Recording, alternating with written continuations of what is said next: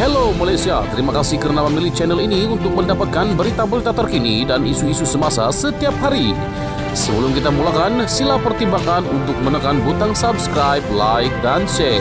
Aktifkan juga lonceng notification agar anda tidak ketinggalan dengan video-video terkini daripada channel ini.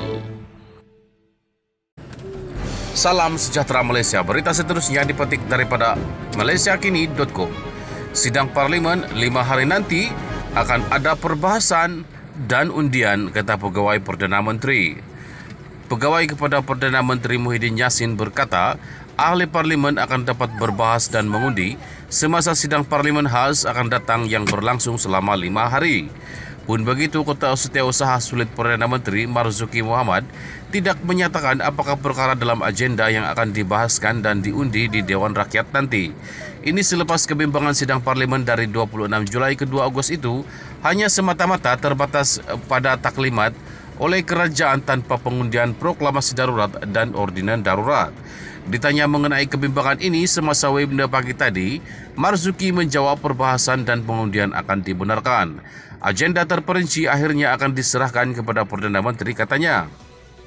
Mengenai agenda sidang parlimen akan datang, saya tidak mahu terlalu cepat mendahului kerana Perdana Menteri adalah ketua majlis iaitu mesyuarat Dewan Rakyat yang akan menetapkan agenda.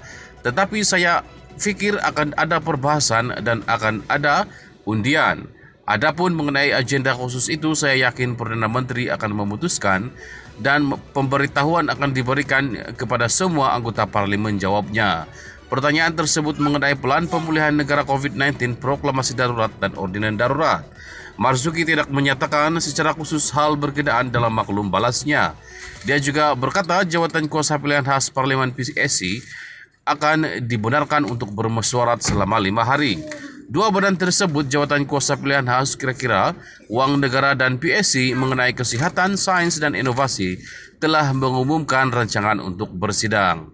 Ketika webinar sama, Timbalan Speaker Dewan Rakyat Azalina Otman Said memuji Putrajaya atas kenyataan Marzuki itu. Sekian berita sila layar Malaysia kini untuk mendapatkan berita yang lengkap. Kita jumpa lagi. Salam sejahtera. Bye-bye.